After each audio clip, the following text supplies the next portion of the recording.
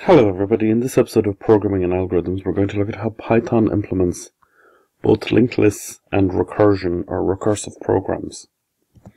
So we start off and look at linked lists. So we'll remember that a linked list is a, a series of nodes. Each node is made up of a value and a pointer and each node points to a successive node and the last node in the list points to a null value. The top of the list is indicated by a pointer called head that points to the first element of the linked list, or the start of the list. How do we declare a linked list node in Python? We say class list node def underscore init underscore self value and pointer self dot value gets value self dot pointer gets pointer. I'm going to ask you to trust me on this, okay? I, I, I don't really want to go into an explanation as to what all of this means. You'll see it in, in when you move on to object-oriented programming, but for the moment we're just going to say this is how we declare a node for a linked list in Python. So if we want to declare a linked list of nodes, we declare them in reverse order, and we'll see why in a second. So in, in our linked list, node 4 is of list node type and it has a value 31 and points to none. In ONE, big N is the Python version of null in ULL. So none is, is what node 4 points to. Now node 3 is a list node as well. It has value 37 and it points to node 4. We can see why we had to declare node 4 first now because we can't declare node 4. We can't declare node 3 without having already declared node 4 because node 3 points to node 4. Similarly, node 2 points to node 3 and node 1 points to node 2. So we have to declare them in reverse order, even though if we wanted to print them out or something like that, we could print them out in the correct order. Just the values though, not the pointers. So we can print out the values of each of the nodes as node 1, 2, 3, 4. We could pr print them out as 4, 3, 2, 1, whatever order we wish. If we want to print it out a bit fancier, we could print it out by putting the values in square brackets and have pointer little pointer symbols between them and having the last value pointing to null. So here we go. 23 points to 62, which points to 37, which points to 31, which points to null. Now I know I said that in Python the null is represented as none in ONE. But the user doesn't need to know that. So every printout we produce, we can just print out the word null if that's what they're expecting. So let's look at printing out the values one at a time using a loop. So um, our head pointer, we'll call it head node. It's a global value that all these methods can access. So we say it's global, and then we create our local current that points to head node. If current is not null or none in this case, then we keep looping around, keep going until we reach the end of the list, print out the current value, and then move the move to the next node by saying current gets current pointer. When we've traversed the list and gotten to the last node, the last node points to null or none so we need to print out the value of the last node as well. So as you can see, there's one more print outside of the loop, which is print current.value. And that'll be the last element of the list. We didn't see that in the pseudocode, but in in Python we have to make, we, we, we do that because th that's the difference between the design and the development. And then if the list is empty, we just print out an empty list. So what will we get?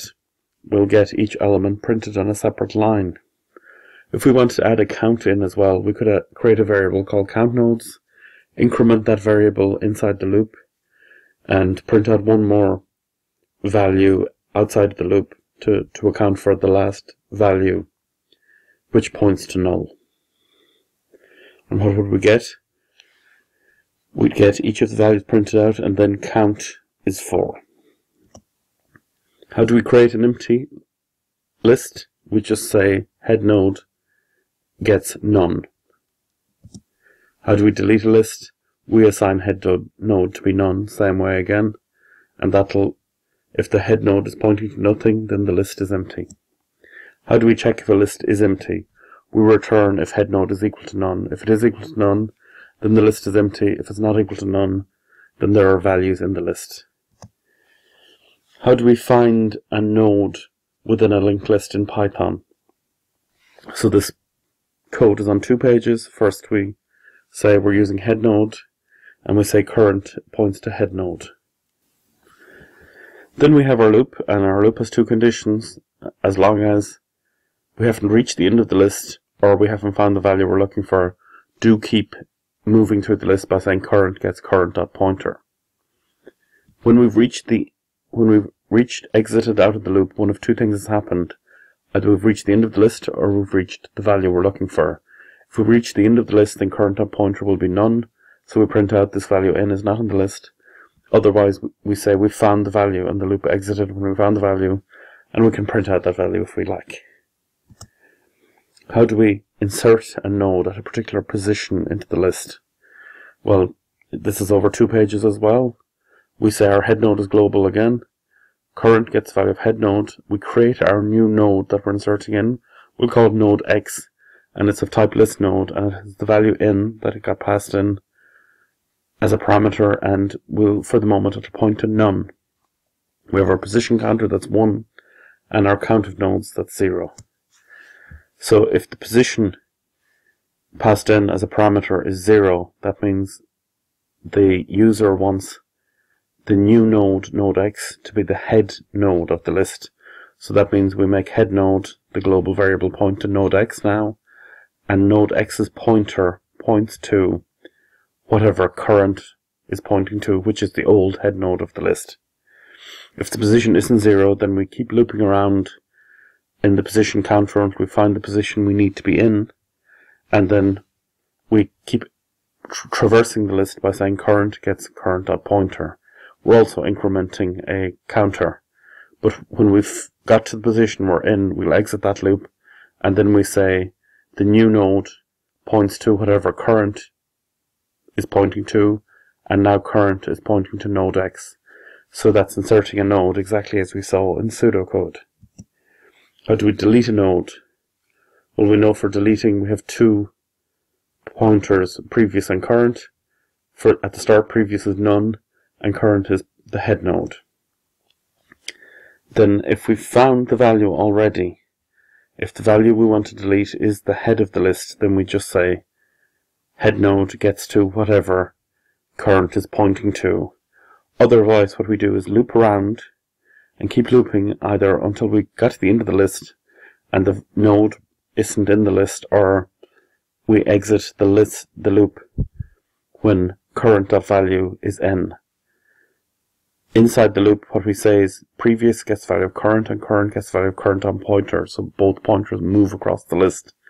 We've exited the loop to delete the value all we need to do is say whatever previous Whatever current is pointing to at the moment, now previous is pointing to. So that means the value in current has now been skipped. And now it'll go from previous to the next value after current. That's deleting a node in a linked list in Python. Now let's move on and look at recursive programming or recursion in Python.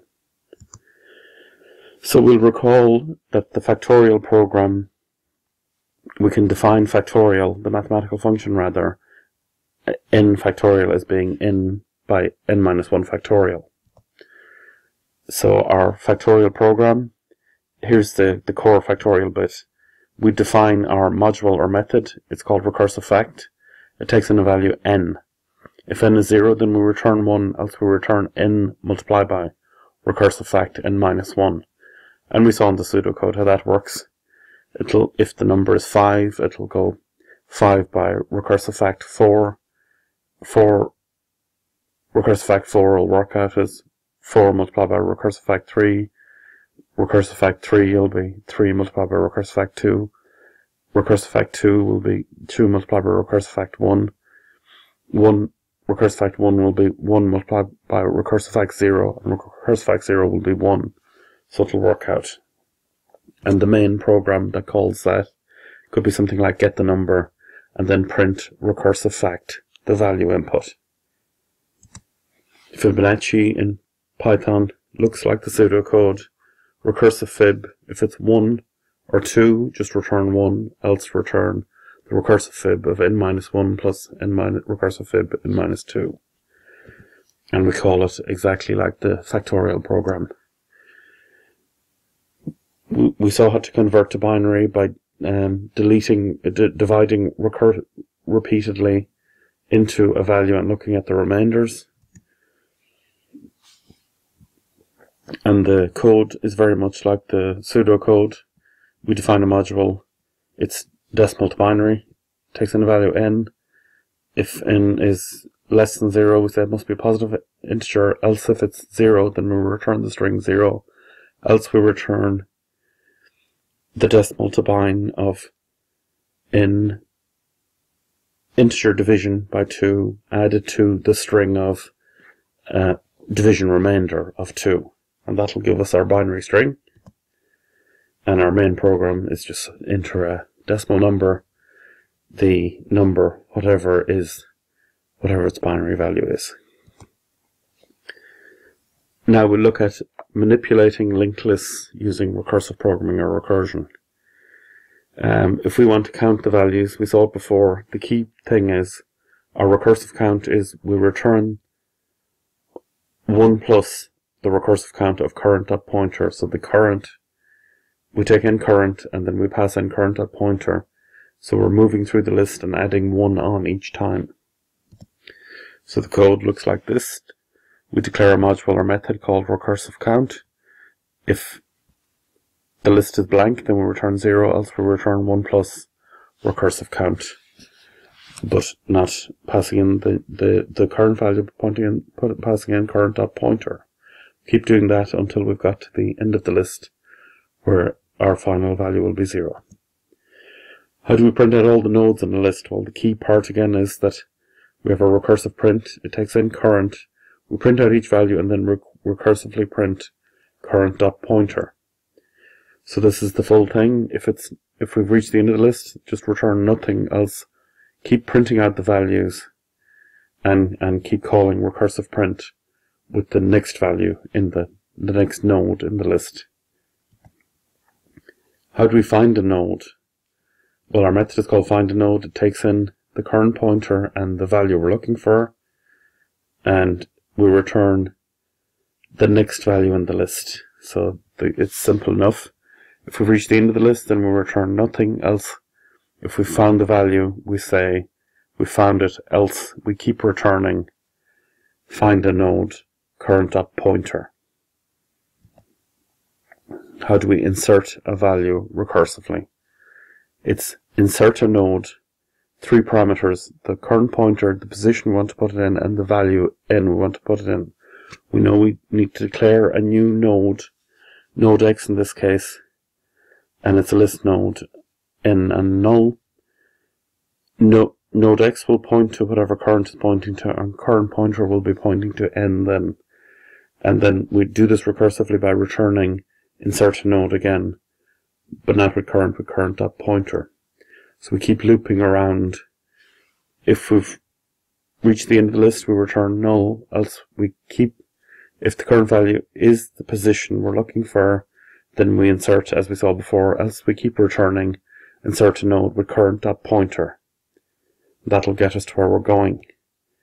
Deleting our current pointer and the value n, and we just say current dot pointer is assigned delete a node current dot pointer comma n. So here's the full code. If it's null, if it's not null the list, then if the current value is n, we just delete it by saying whatever current is now pointing to current.pointer. Otherwise, we say current.pointer is assigned delete a node recursively called for with current.pointer and n. And that's deleting a node using recursion. Thanks very much. That's the end of the lesson. I hope you enjoyed it and I hope you go and implement some of this stuff in Python to see it working.